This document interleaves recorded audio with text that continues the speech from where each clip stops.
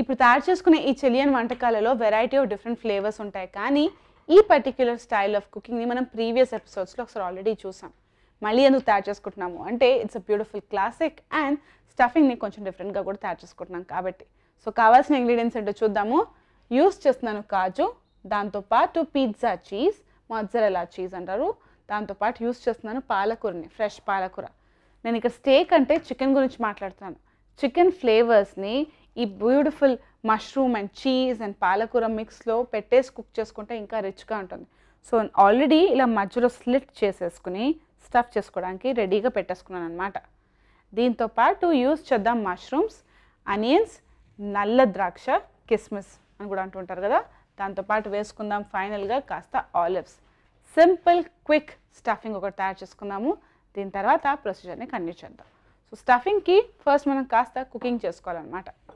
దానికోసం ఫస్ట్ నేను పాలకూరని లైట్గా చాప్ చేసుకుంటాను.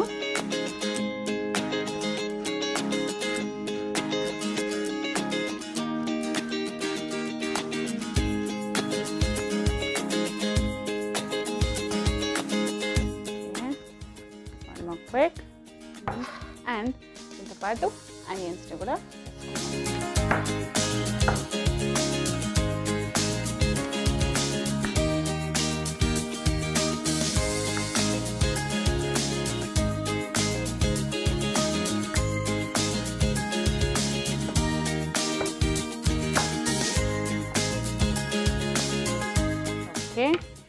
ఇప్పుడు మష్రూమ్స్ని కూడా చాప్ చేసేసుకున్నాం మష్రూమ్స్లో వాటర్ కంటెంట్ ఎక్కువగా ఉంటుంది కాబట్టి కొంచెం పెద్దగా చాప్ చేసుకున్నా కూడా పని అవుతుంది అన్నమాట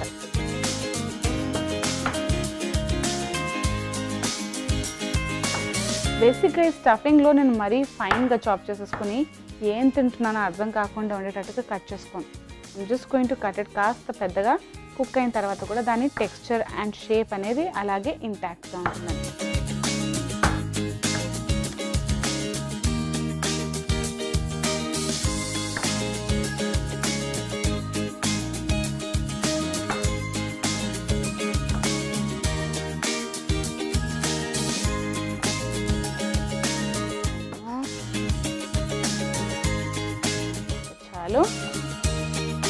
పాన్ సూపర్ హాట్గా అయిపోయింది. ఫస్ట్ వేసుకుంటున్నాను. కాస్త ఆయిల్.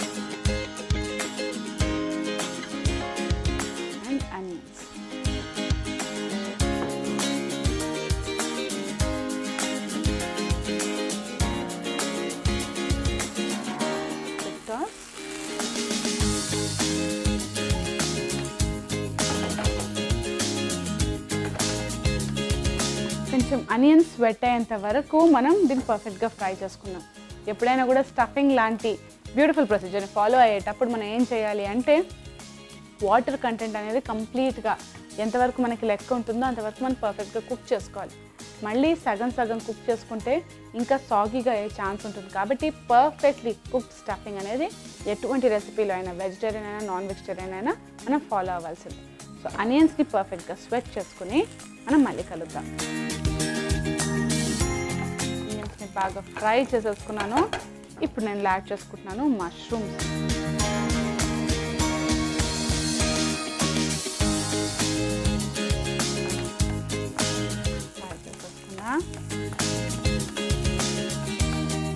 ఈ పర్టిక్యులర్ రెసిపీలో ఫైనల్ అవుట్పుట్ మన స్టేక్ కూడా బయట నుంచి రుచిగా ఉండాలి at the same point of time స్టఫింగ్లో కూడాను ఫ్లేవర్స్ అసలు తక్కువ కాకూడదు. అందుకనే స్టేక్ని కూడా మనం లైట్గా అదే మన ఈ చికెన్ పీస్ని కూడా కొంచెం ఉప్పు వేసుకుని కొంచెం ఫ్లేవర్ వచ్చేటట్టుగా మార్చుకుందాం. ఎలాగో కట్ చేసుకున్న వెంటనే లోపల bold cheese and mushroom and పాలకూర వీటి ఫ్లేవర్స్ అన్ని కూడా రిచ్గా ఉంటాయి కాబట్టి సరిపోతుంది.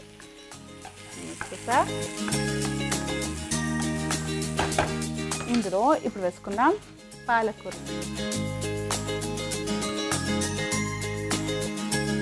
అండ్ నట్స్ని కూడా లైట్గా చాప్ చేసుకుంటున్నాను ఇక్కడే.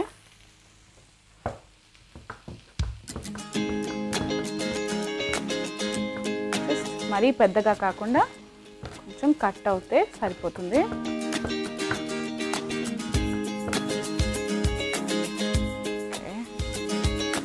వీటిని పక్కన పెట్టుకుందాం. ఫ్రై చేసా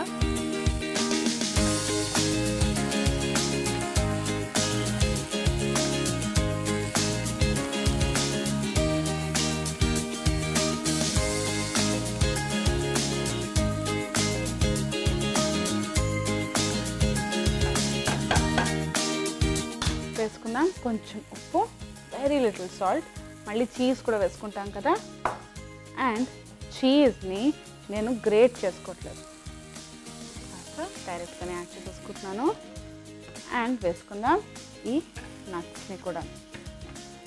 ఆలివ్స్ కూడా లైట్గా క్రష్ చేసి వేసేసుకుంటాను ఇప్పుడు ప్యాన్లో ఉన్న వేడి సరిపోతుంది. దీన్ని మనం మిక్స్ చేసి ఒక చిన్న ముద్దలాగా మిక్సింగ్లోనే ఫామ్ చేసేసుకుందాం.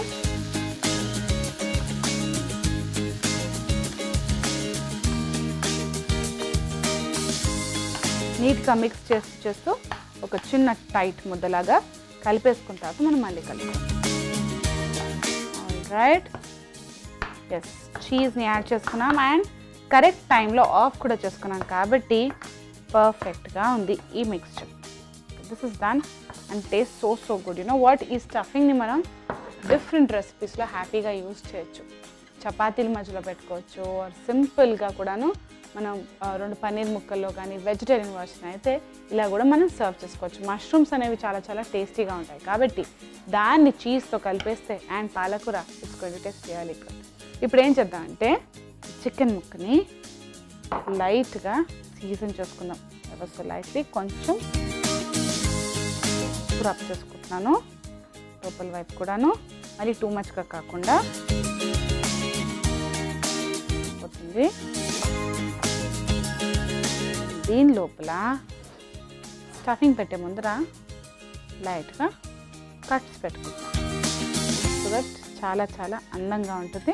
మనం ప్రజెంటేషన్ చేసేటప్పుడు. ఓపెన్ చేసి చీజ్ స్టఫింగ్ని తీసుకున్నాం అండ్ ప్యాక్ చేసుకున్నాం. చీజ్ వేసుకున్నాం కాబట్టి మనకి స్టఫింగ్ అనేది చాలా సులువుగా మనూవర్ చేయొచ్చు. కాస్త మెల్ట్ అయ్యి పక్కకు వచ్చేసినా కూడా అది కూడా ఒక అందంగా ఉంటుంది కాబట్టి మనం అలాగే ఉండనిద్దాం పర్ఫెక్ట్ ఇప్పుడు ఇలా షిఫ్ట్ చేద్దాం. ఫ్యాన్లోకి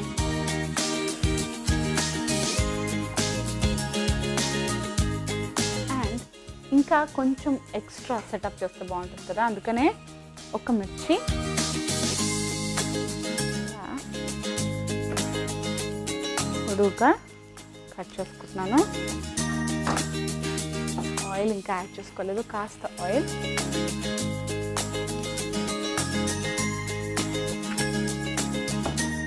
అండ్ అదే ఆయిల్ చిల్లీస్కి కూడా పనికొస్తుంది.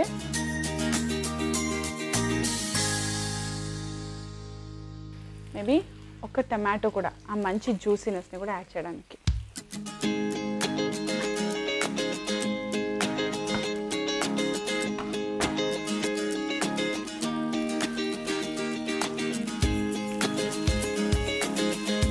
సింపుల్గా రెండు వైపులా గ్రిల్ చేసుకుందాం మనం. కానీ ఆ చిల్లీ ఫ్లేక్స్ వేసుకోకపోతే మనశ్శాంతిగా ఉండదు. కాబట్టి కాస్త చిల్లీ ఫ్లేక్స్